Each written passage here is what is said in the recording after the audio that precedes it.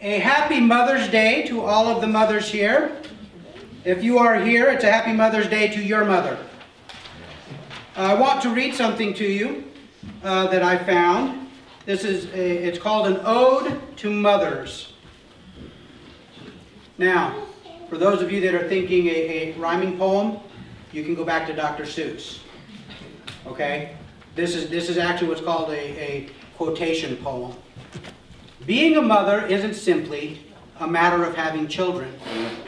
To think that is as absurd as believing that having a piano makes one a musician. It is true that you may occasionally overhear a mother say, children must have their naps. It's mother who knows best. When what she really means by that is that she needs a rest. And yet all of the home remedies a good wife and mother is still the best. For a mother is the only person on earth who can divide her love among ten children, and each child still receives all her love.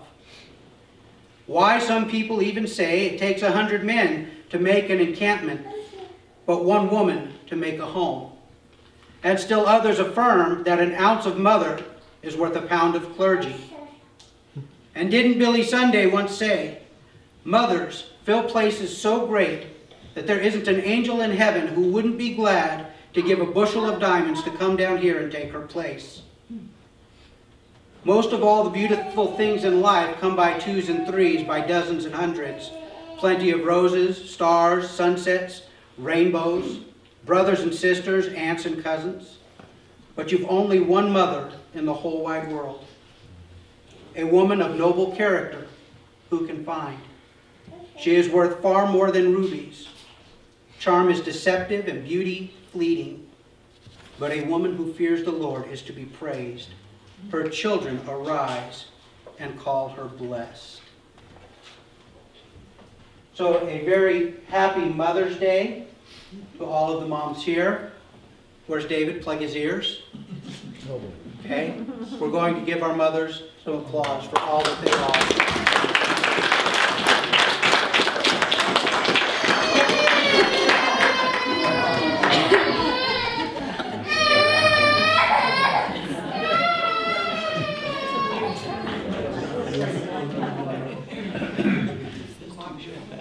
Okay, uh, Josh, if you would go ahead and put the picture up.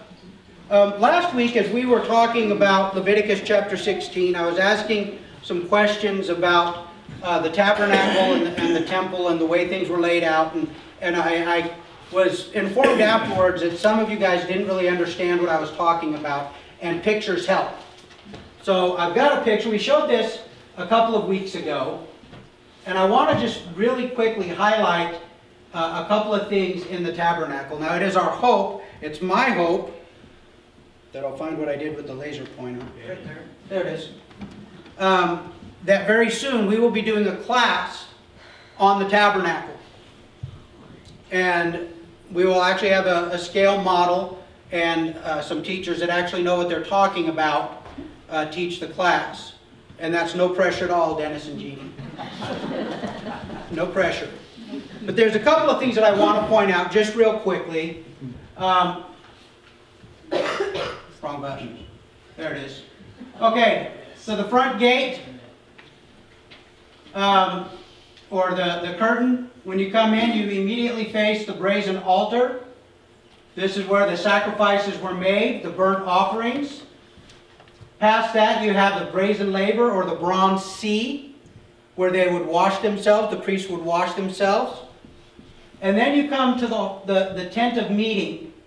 And inside the tent of meeting, there are several components. On the left-hand side as you come in is the menorah with seven candles. Okay, across from it, on the other side, is the table of showbread.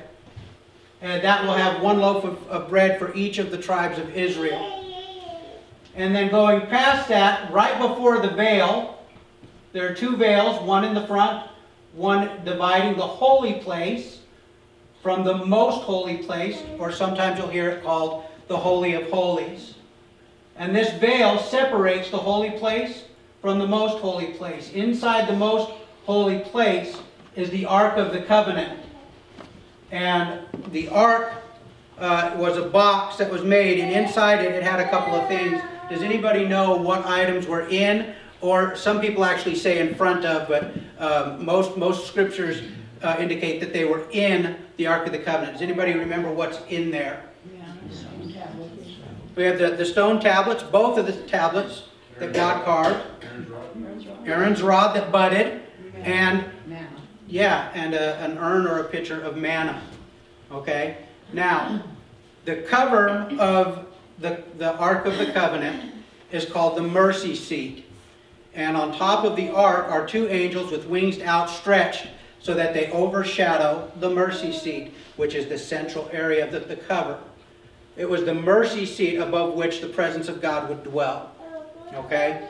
So, in these different components, now we'll, we'll if you want to know more about these, each of these are an incredible illustration of the Messiah to come. Okay? And, and I would encourage you when uh, we offer the class, attend. Because we look at these things and I, remember for a, a lengthy period of my, my walk in Christ, I looked at these things and went, okay, so what? Because I didn't have understanding. All right? So what we are dealing with today, working out of Leviticus uh, chapter 16, we see uh, a number of things. Go ahead and open your Bibles to Leviticus chapter 16. I'm going to catch us up and, and try and move us forward and, and get this covered for you. Now, we've talked already in, in chapter 16, verse 1. They establish the timing of what's going on here. And if you look at verse 1, it says, The Lord spoke to Moses after the death of the two sons of Aaron. Okay, does, does anybody remember uh, the two sons, what their names were? Bonus points, what's that? Abihu. And Nadab and Abihu, or Abihu, yeah. Um, these were the two older sons of, of uh, Aaron, and they brought what, what the scripture refers to as strange fire. And they presented it before God. Now, the, the word strange means alien or, or different. Uh, it's not the norm. And they brought this, this fire before God to offer it uh, before the ark, and they were struck down. And, and it says fire came from heaven and destroyed them. Okay? So we immediately we know the timing of what's going on because verse 1 tells us it's right after the two sons died. Okay? And so moving forward, um, God establishes in verse 2 some limitations. Okay? He tells Aaron, you can't come before me whenever you want. You can come before me in the most holy place. Now keep in mind, we have the holy place where stuff was going on on a daily basis. They had to keep the candles lit and trimmed. They had to replace the showbread once a week. Uh, they had to keep the incense going. So that the priest would come in there. If you remember in uh, the book of Luke, it talks about Zechariah. He was serving in the temple. Now the temple is set up exactly the same way, except it's not curtains. Okay? So you come in and you have the, the bronze altar, the, the um, brazen laver, or the, the bronze sea. Then you have uh, inside the temple itself, you have the exact same arrangement. Uh, by the way, which way does this face? Does anyone remember? East. East. It faces east, always east. Okay? So in the temple, uh, Zechariah was ministering inside the holy place when an angel appeared to him. Okay? The most holy place was off limits. As a matter of fact, it's kind of an interesting thing because when God made Aaron high priest and he established the rules, Aaron was allowed to go into the most holy place to the presence of God, but Moses was not. Okay? Ponder that for a minute. Okay? God allowed Moses to see the train of his glory, but Moses wasn't allowed to come into the most holy place. Only Aaron was. Okay? And, and then, so God establishes in verse 2, he says, uh, Tell Aaron not to come at any time into the holy place inside the veil. Now, remember this whole thing is the holy place But inside the veil is the most holy place. So he says, Tell Aaron, don't come in at any time into the holy place behind the veil, uh, before the mercy seat that is on the ark, so that he may not die. For I will appear in the cloud over the mercy seat.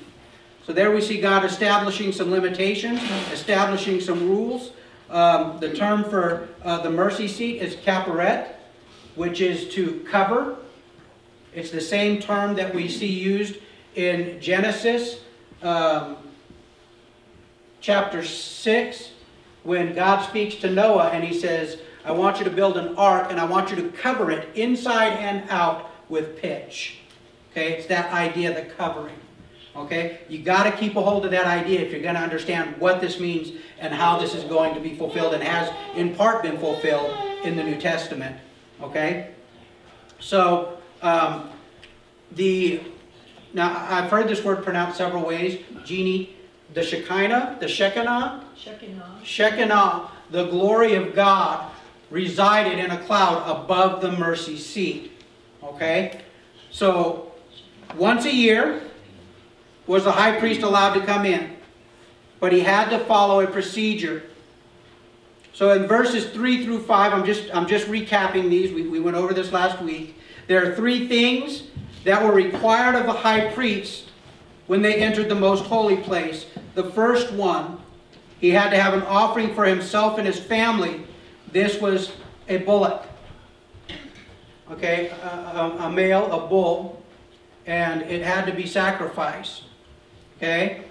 Um, the second thing, uh, by the way, this, this offering was not just for, for the high priest. Interestingly enough, it's for him and his family.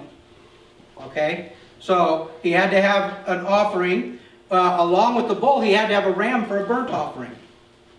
Okay? So that's, that's the first thing. Second thing, there were specific garments that were required. If you look down here, um, verse 4, it says, He shall put on the holy linen coat and shall have the linen undergarment on his body. This is a garment that was worn once a year. And actually, rabbinic tradition tells us that it was worn once. And then it was not worn again. Every year they would make a new one. This is different than the, the robes that the high priest would normally wear. Okay? Uh, this is, there's no, no mention of a turban. There's no mention of the, the ephod. There's no mention of the Urim and the Thummim. Uh, so this is different. Okay, the, the robes, the attire that he wore on his regular daily service, that was set to the side, and he would take on the, the linen garments and the linen undercloth, white. White. Keep that in mind, that's significant. Because see, everything that's given to us in the Old Testament has its answer or fulfillment or continuation in the New Testament. When Jesus went up on the Mount of Transfiguration, how did he appear? Wow. He went up and he, he became white, the, the garments that he wore. Okay? So, he had to have the special clothing. Number three, um, he also needed to have an offering for the nation. Two male goats. All right?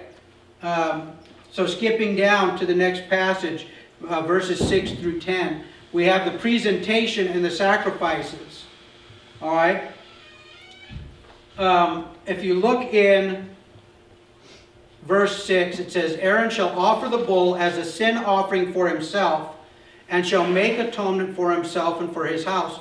Uh, this, this phrase right here, uh, a sin offering for himself, and shall make atonement for himself, um, the, the Hebrew is it's, it's actually his possession. Okay? When he brought the bullock in, it was not something that he could just go out and say, hey, I need a bullock. It had to come from him because it was a personal, this is a personal transaction, a personal intercourse between him and God. This is for his atonement, his purification. If this is not done and he comes before the presence of God without that blood, he will be struck dead. Okay? God didn't play around with this. In order for us to grasp the absolute holiness of God, the absolute purity of God, we've got to go back into the Old Testament to see what he required of the people that, to come into his presence. Okay?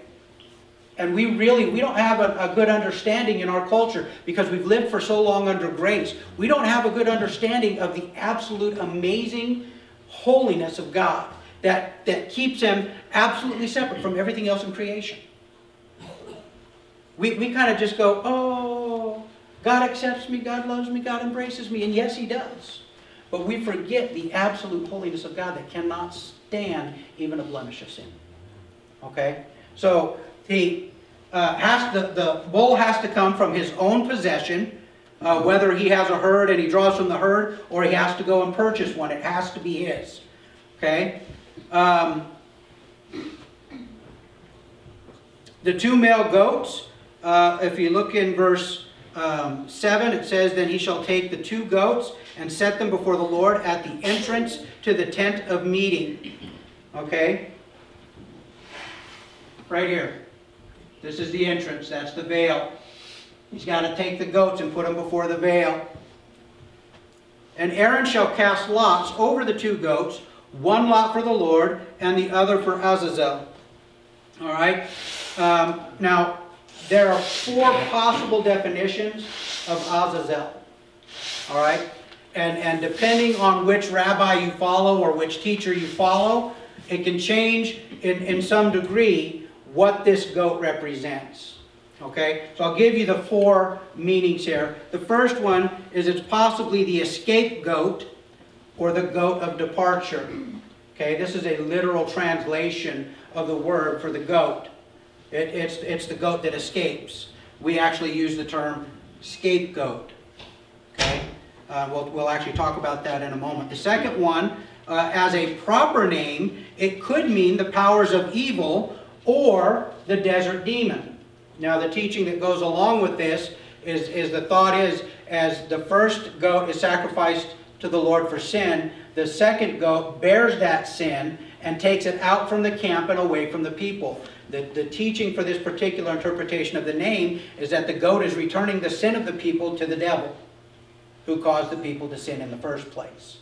Okay, so so the, the second one is the desert demon, and, and it's the idea that the, the sin of the, the nation of Israel is laid on this goat, and he takes it out to the desert to take it back where it belongs. The third meaning uh, is, um, de again, depending on how it's pronounced and the manner in which it's used, it could mean a rocky precipice.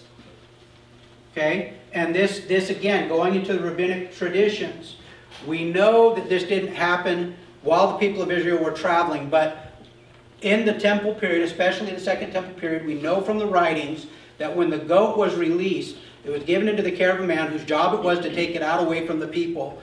Uh, we know in the second temple period, that goat would be taken up to a high cliff and pushed off.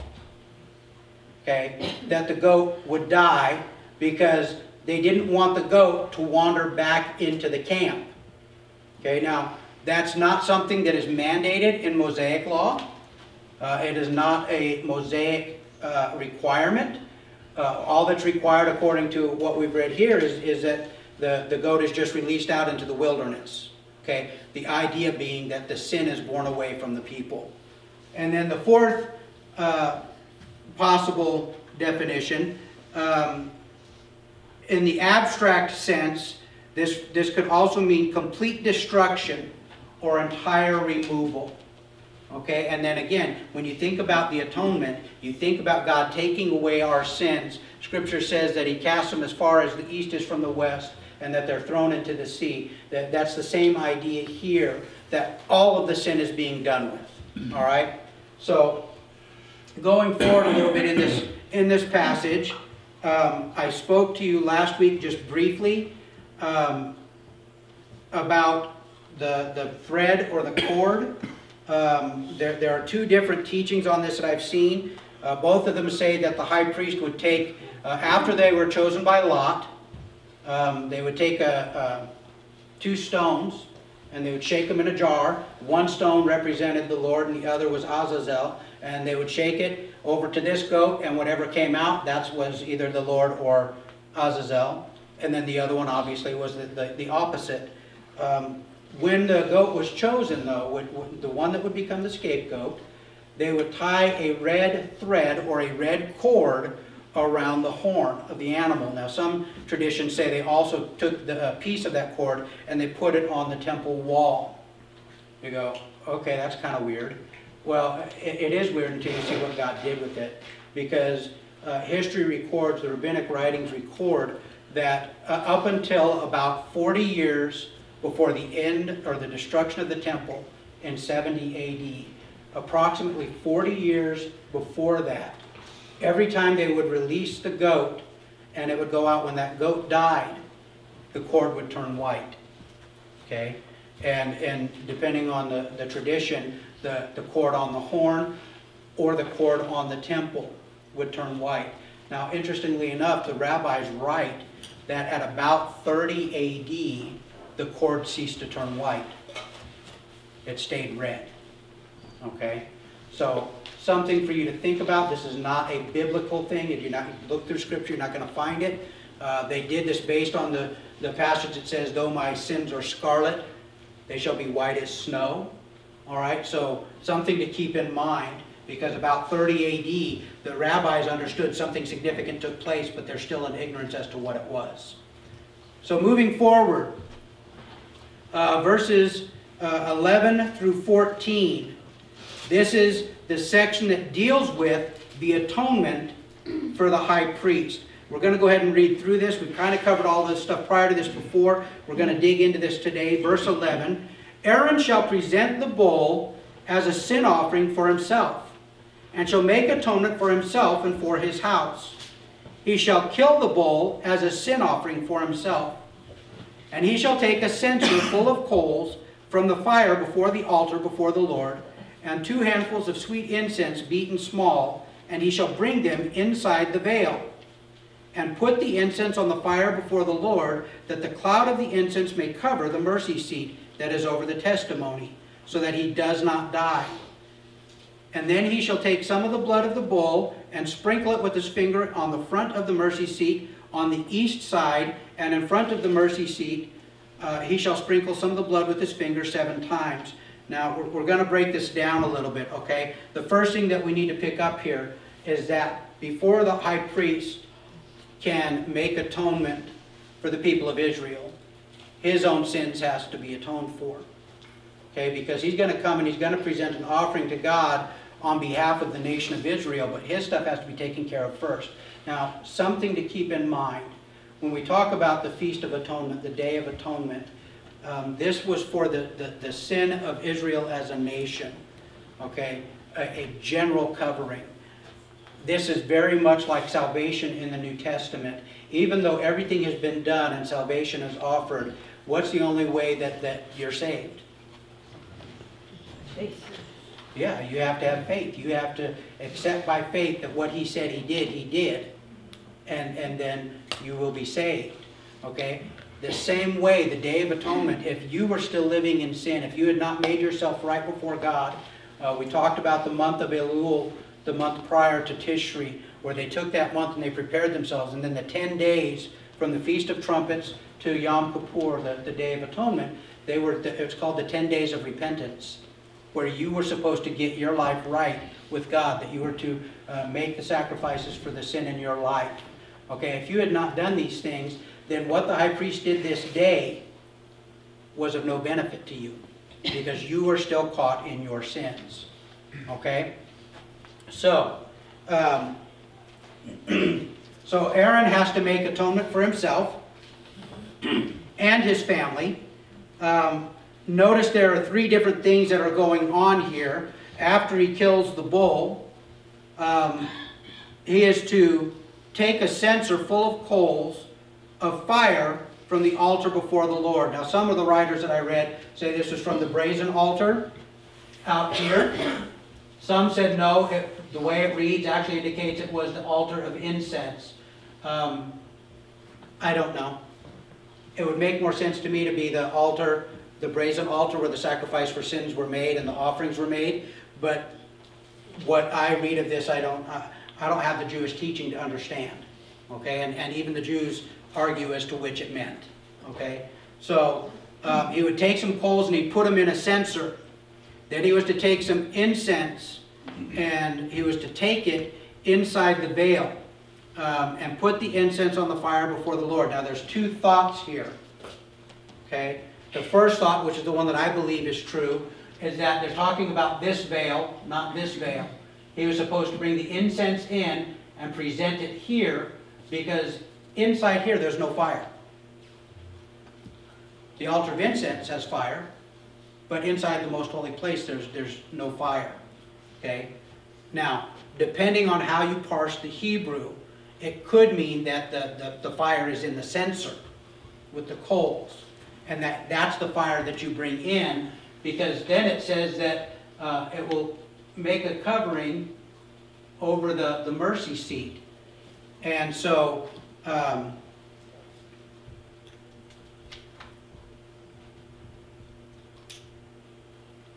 uh, he shall put the incense on the fire before the Lord, and the cloud of the incense may cover the mercy seat that is over the testimony, so that he does not die. Okay? Um, does anybody remember what Revelation talks about with incense? What does incense represent? The prayers of the saints. Okay? Um, I think that's what's going on here, is that, that when uh, Aaron comes in with this incense and the smoke is going up, it's not just covering the mercy seat, but it's also, it's representative of the prayers of the people that have gone up asking for forgiveness. Okay? That's, that's my personal thought. Um, the third thing that he had to do, uh, with the cloud would cover uh, the Shekinah or Shekinah glory of God. So when he enters the holy place, he's had to make preparation to go in. He's done the, the sacrifice, he's gotten the incense, the smoke is going up, and then he comes in, and the altar, the Ark of the Covenant is set in front of him. And the scripture says, um, and he shall take some of the blood of the bull and sprinkle it with his finger on the front of the mercy seat on the east side. Now, we know that the, the tabernacle and the temple always faced east, so this is east. And so he's going to sprinkle blood on this side of the ark. Okay? Now, I'm not sure why, but rabbinic tradition teaches that when he sprinkled the blood on the ark, he did it in an upward motion. Okay?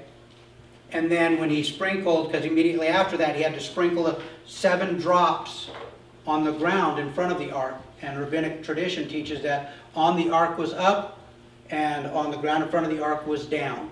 I don't know why that's important, but God doesn't do anything randomly. Even some of the things that they held as tradition that we don't have as scripture, God uses. Okay? So, he makes this offering, he sprinkles the blood. Now, his atonement is done. That's blood just for him and his family. The people at this point have still, there's been no atonement made for them. Okay? There's been no covering of sin for them. So we get down here to verse 15, and it says, uh, Then he shall kill the goat of the sin offering that is for the people, and bring its blood inside the veil, and do with its blood as he did with the blood of the bull, sprinkling it over the mercy seat and in front of the mercy seat. Then he shall make atonement for the holy place, because of the uncleanness of the people of Israel, and because of their transgressions, all their sins. And he shall do for the tent of the meeting, which dwells with them in the midst of their uncleanness. um, no one may enter, uh, no one may be in the tent of the meeting from the time he enters to make atonement in the holy place until he comes out and has made atonement for himself and for his house and for all the assembly of Israel. Then he shall go out to the altar that is before the Lord and make atonement for it, and shall take some of the blood of the bull and sprinkle uh, some of the blood of the goat, and put it on the horns of the altar all around. And he shall sprinkle some of the blood on it with his finger seven times, and cleanse it, and consecrate it from the uncleanness of the people. Now this, there's a lot going on in this passage here. Okay, so we're going to break it down piece by piece, because they just put a huge chunk of the Day of Atonement in, in this like seven verses.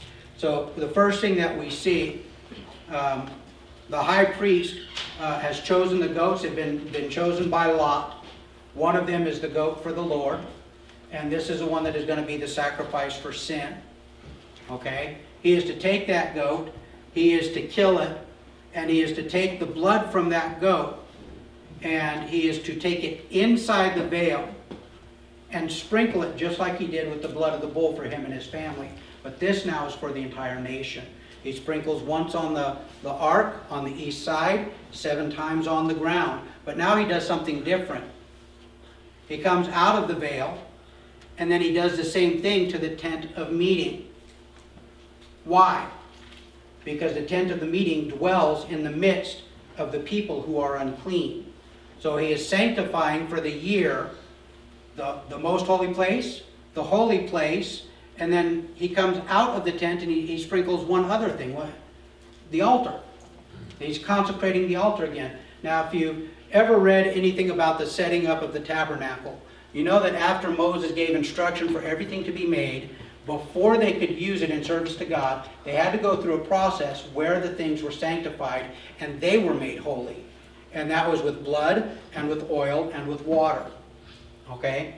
All three had to be applied for the thing to be considered holy. Everything from the spoon to the knife to the altar. So as he's coming back out, he anoints the most holy place, he anoints the holy place, now he anoints the altar. Okay? What did the altar do wrong? Absolutely nothing. Altars don't do anything. They leave them to themselves and they just sit there. Okay? Kind of like one of us guys in our chair on a Saturday afternoon when football's on. You don't do anything to us, we're just going to sit there. And we're happy that way. Okay? It didn't do anything wrong, but it dwells in the midst of an unclean people. Okay?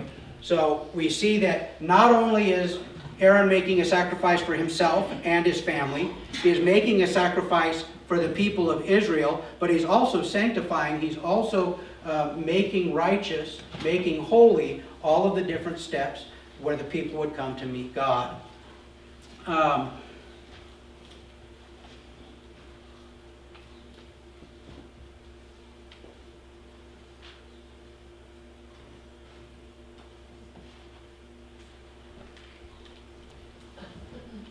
okay.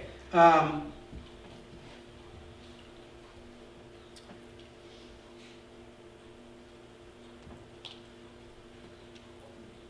I'm going to jump down to verse 22. I'm sorry, verse 20. We're going to pick up right there. Um, so he's made the atonement. The bull has been slain. The goat has been slain. But now we have to deal with the scapegoat, the goat that's left, the goat with the, the cord. So picking up in verse 20, it says, And when he has made an end of atonement, or end of atoning for the holy place and the tent of meeting and the altar, he shall present the live goat. And Aaron shall lay both his hands on the head of the live goat, and confess over it all the iniquities of the people of Israel, and all their transgressions, all their sins. And he shall put them on the head of the goat, and send it away into the wilderness by the hand of a man who is in readiness. The goat shall bear all their iniquities on itself to a remote area, and he shall let the goat go free in the wilderness. Now, we just talked about this uh, as far as dismissing the goat. Mosaic law just tells us it's got to go in the wilderness. It's got to go, that, that word there is cut off place. Okay, it's got to go somewhere where people aren't, and people aren't going to be passing through there. There's no roads going to it. There's, there's nothing that people are going to use. They're going to have to work to get to where this goat is. There's a man who is set aside. His job is to take the goat and make sure it gets to that place. Uh, we also mentioned that in later years, he would take it to a cliff and poop, ah, okay? Because they didn't want the sin coming back in among them. But that's not what the Mosaic Law says. Mosaic Law says just, just put them out in the wilderness. Um, now there's, there's four things that happen here that Aaron does. The first thing he does is he places his hands on the, go the goat. Okay? He's, he is making that goat by touch the representative of all of the people of Israel. Okay? The second thing that he does is he confesses the sins, the iniquities, and the transgressions of all of the people of Israel. Now, you would think this is going to take a long time because there's a lot of people and there's a lot of sin. But I don't think he's going through, okay, you know, uh, Father, we, we make confession for uh, Avram because he really screwed up big this time, and, and for Judah well, he blew it really big here, and he, he didn't go person by person. He's covering the sins that are listed in the Mosaic Law, and he's doing a blanket covering for everyone. Okay? Uh, so when he covers the, the sin of, of adultery, that covers all of the sin of adultery if that person has repented. If that person hasn't repented, guess what? This doesn't apply. They're not made righteous. Okay? So he, excuse me, he confesses their sin. He's, he's put his hands on, he's confessed their sins. He substitutes the goat for the people, making the goat bear their sins. And then finally, he releases the goat into the care of the man who will take it outside the city, outside the camp. So let's jump down to verse 23, and we're going to pick up there. Then, uh, then Aaron shall come into the tent of meeting, and shall take off the linen garments that he put on when he went into the holy place, and shall leave them there. And he shall bathe his body in water in a holy place, and put on his garments, and come out, and offer his burnt offerings and the burnt offerings of the people, and make atonement for himself and for the people. And the fat of the sin offering he shall burn on the altar. And he who lets the goat go to Azazel, actually I'm going to stop right there, okay? Because this, this is wrapping up the priest's, the priest's duties for the day. When, when he has let the goat go, before he can offer the burnt offerings, he has to go change his clothes. Okay? Those garments that, that he put on at the very start of this thing, he went and he bathed himself. The Hebrew word for bathe means immersed. He, he completely immersed himself. Um, then he donned the white linen. When, when the sacrifice has been made and the goat sent out, he has to go change back into his other clothes. Okay, now this is probably his daily vestments. It's probably the, the high priest clothes that he wears every day. Because you see, immediately after he washes himself and puts his clothes back on, what does he do? He comes back out and makes another offering. Okay? He makes the burnt offering. And, and this is the, the ram that he brought for him and his family, and the ram that was brought for the people. And he puts the, the parts of that animal that God has required, uh, the, the, the fat, the kidney, um, I'm missing something. Jeannie, do you remember what the other thing is, Dennis? The liver or something. The liver, yeah. And they burn those things on the altar. But before he can do this, he has to cleanse himself again. Okay? It's almost like the Day of Atonement is taking place in two phases. The atonement part of this is the blood of the goat and the bullock in the most holy place. And then coming back out, now he comes back into the regular workings of things and makes a burnt offering. Okay? Um, as, as he does this burnt offering, he's changed his clothes, uh, he's bathed himself, and then he's changed his clothes. Then he makes this burnt offering. Okay? Uh, and the fat of the sin offering he shall burn on the altar. And then in verse 26, uh, we, we, we, jump over. Remember the, the, the dude, the, the, the goat dude?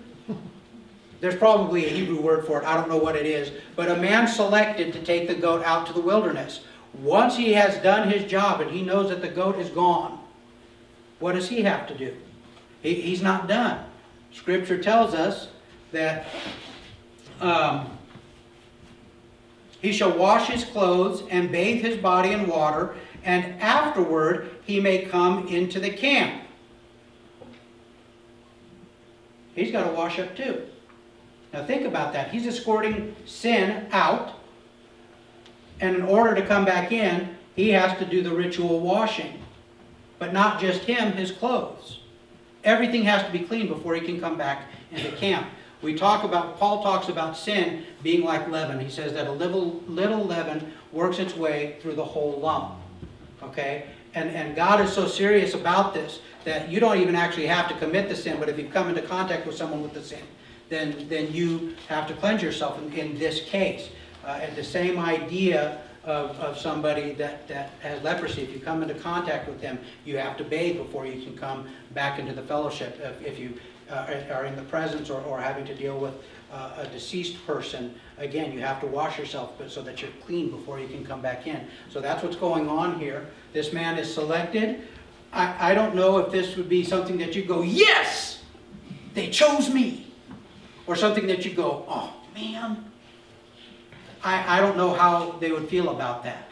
Um, but moving forward, um, verse 27, and the bull for the sin offering and the goat for the sin offering, whose blood was brought in to make atonement in the holy place, shall be carried outside the camp.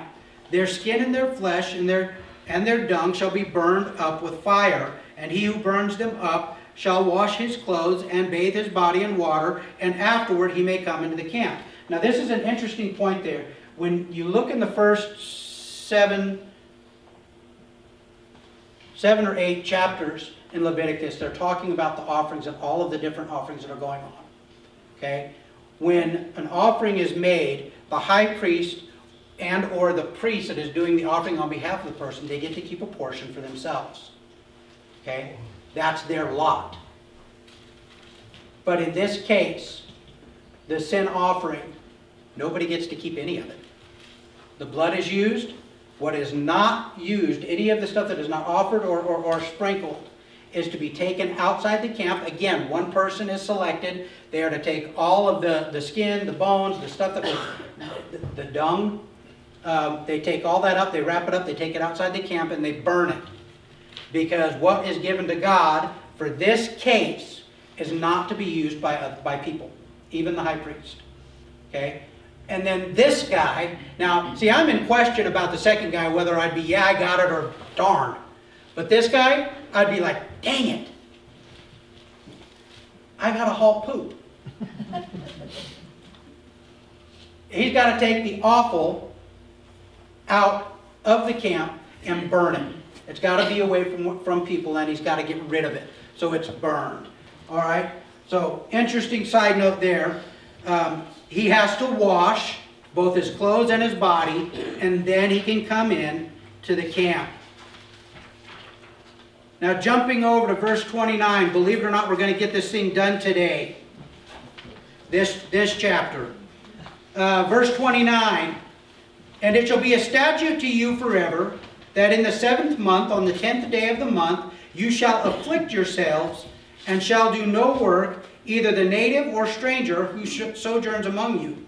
For on this day shall atonement be made for you to cleanse you. You shall be clean before the Lord from all your sins. It is a Sabbath of solemn rest to you, and you shall afflict yourselves. It is a statute forever. And the priest who is anointed and consecrated as priest in his father's place shall make atonement wearing the holy linen garment. He shall make atonement for the holy sanctuary. He shall make atonement for the tent of meeting and for the altar. And he shall make atonement for the priests and for all the people of the assembly. So there's a couple things that we need to note right off the bat. First, this is a statute forever. Now here's a tricky thing. Okay, what does forever mean? What? Always. Never ending. Forever and ever. That's the English word. The Hebrew word here, when they say forever, that's not a, an eternity. It's until the end of a, an appointed time. Okay? We look at that and we go, well, why are we not seeing this done today? Sadly enough, uh, because there is no temple and there is no way to make atonement, the Jews today, the rabbis teach that in order to be atoned, you have to repent, and then you're good. But that's not what Scripture says, because Scripture says that there is no remission of sin without the shedding of blood. Okay? Some of the, the die-hard conservatives, they will actually sacrifice a chicken on that day so that there will be shedding of blood. You know, in for a dollar, in for a dime, in for a dollar. Um, but a lot of them say, hey man, you, you know, Day of Atonement, you just got to ask God to forgive you. If they really understood what was going on, they're right on it and completely far away from it. Okay? So, um, this is a statute that lasts until the end of an appointed time, which we know to be the coming of Christ, uh, the sacrifice of Christ. Um, it is to be on the 10th day of the seventh month that's the 10th of Tishri. Uh, it is a day that the Israelites must afflict themselves. In chapter 23, we see that when God is speaking to Moses about this, he says that the people must afflict themselves twice. Here he says it twice again. Now, the Jews took that to mean uh, that they should fast. There were actually a series of things that they would do. There were there actually at one point they would actually scourge themselves 40 times with the you know the whipping of themselves 40 times to, to afflict themselves. Uh, they they afflicted themselves with the fasting. You are not allowed to eat from sundown the day before to sundown of, of that day. Um, you you fasted. This is based. Um, oh, let me find it. There's there's a passage. Um, Isaiah 58, uh, verses 3 through 5, it says, Why have we fasted and you see not? Why have we humbled ourselves and you take no knowledge of it? Behold, in the day of your fast you seek your own pleasure and oppress all your workers. Behold, you fast only to quarrel and to fight and to hit with a wicked fist. Fasting like yours this day will not make your voice to be heard on high.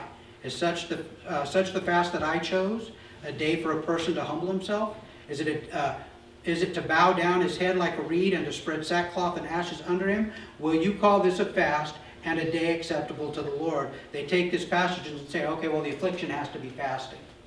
Okay? But if we read in the passage, we know that it's, it's not a physical affliction because what does it say? Let's go back here and, and, and look at this. Um,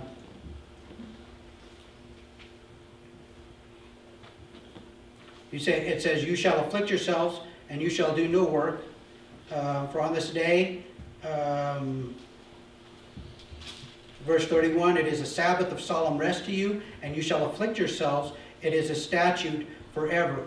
Now, the, the Hebrew word, the, the Hebrew phrasing here is not afflict your body, it's afflict your soul. Yeah. It, it's not, okay, you can beat your body all you want, but if this is wrong, if this is goofed up, all you've done is bruise yourself. Okay? It's an affliction of the soul, and I think what that means is to come face to face with the stark reality that your sin has separated you uh, by an eternity from the, the Holy God. And, and it's a day of personal introspection and looking at where you're at in this life and, the, and where you're at in your relationship with God and, and re-evaluating the priorities of your life. I think it's something that is much more personal and inward than outward. Okay? Um, so they, they must afflict themselves. Uh, the Jews say that that has to be um, through fasting. Uh, they also said that they were to do no work. Neither was anyone who was sojourning among them. So if there were Gentiles that came and lived in the land, they were not allowed to work on this day. Okay? And, and you know why God did this. Because the Jews would be like, well, I still got stuff to bring in. I've still got ground to plow. I've still got stuff that needs to be done. I know. I'll have him work it. He's not a believer. He's going to hell anyway. We'll let him work it. God says, no, no, no. No one in the land, whether they be native or a sojourner, no one is to work this day. This is the only time in Scripture that I can find outside of the seventh day of rest that a particular day is called a Sabbath. This is a day where no work is to be done. Okay? So, um, so it's a Sabbath rest. You are to afflict yourself. Um, no one is to work. Uh, and, but then we see this weird little thing that happens down here that, you know, if you're not paying attention, you'll just blink right over. Um, in verse 32, God kind of changes this up a little bit. And he establishes that the high priesthood is going to be hereditary. You see what he says there? He says, And the priest who is anointed and consecrated as priest in his father's place shall make atonement wearing the holy linen garments. He shall make atonement for, now we, we get into this first. We've established that when, when Aaron dies, it, it's going to pass, the high priesthood is going to pass to his son. Okay, and, and he's going to be anointed by his father for that role. Okay, and then when he gets to that point, he, you guys heard that, right? Okay. Okay, you see, that happens to me all the time at home. I'll say, Christy, what is that? She says, what? Didn't you hear that? No. Never mind. Okay, so he passes it down to his son. His son will pass it down to his son. But then look, we go back and God reiterates what the atonement is for. He, he named, lists a number of things. He shall make atonement for the holy sanctuary, the most holy place. And he shall make atonement for the tent of meeting and for the altar. These are the three places where the blood was sprinkled. And they're making atonement again for it to make it holy for the coming year. But then he goes through and he lists the people. And he shall make atonement for the priests, of which he is one. All of the priests. And this actually, by extension, is their families. And for all the people of the assembly. Now, who are the people of the assembly? All the Jews. The Jews. Those that were given the promise, those that were given the law. This is, this is for them. If they're following the law and they're keeping up with this thing, this is the, the, the national atonement for the nation of Israel. All right? And this shall be a statute for you forever. Again, till the end of the appointed time, that atonement may be made for the people of Israel once in a year because of all their sins. Okay, so we've, we've come full circle. Aaron, you can't come in anytime you want. The only time you can come in is on the Day of Atonement, when you come first to make atonement for yourself, second to make atonement for the people. Okay? And then he brings it all the way around, and, and at the very end of this it says, And Aaron did as the Lord commanded Moses. Now, now wrap your brain around this. God is speaking to Moses and giving him all of these instructions, which he then turns around and gives to Aaron so that Aaron might fill them. God didn't choose Moses to be the high priest. He chose Aaron. And then through the line of Aaron, uh, we have a priest ourselves. Okay? Now, we, we, we no, excuse me, not the biological, not the, the physiological line, but through the Aaronic priesthood, and actually the priesthood actually goes back to Melchizedek. Okay, Jesus really actually doesn't really fit in any of those lines because, you know, he's God, he created all of them by his word. Okay, so we've come full circle. The Day of Atonement. Today, this is considered the high day, the high holy day of the year for the people of Israel.